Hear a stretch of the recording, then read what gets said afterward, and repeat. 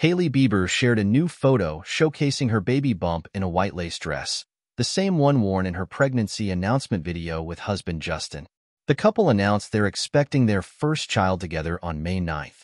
Hailey's rep confirmed she's just over six months pregnant.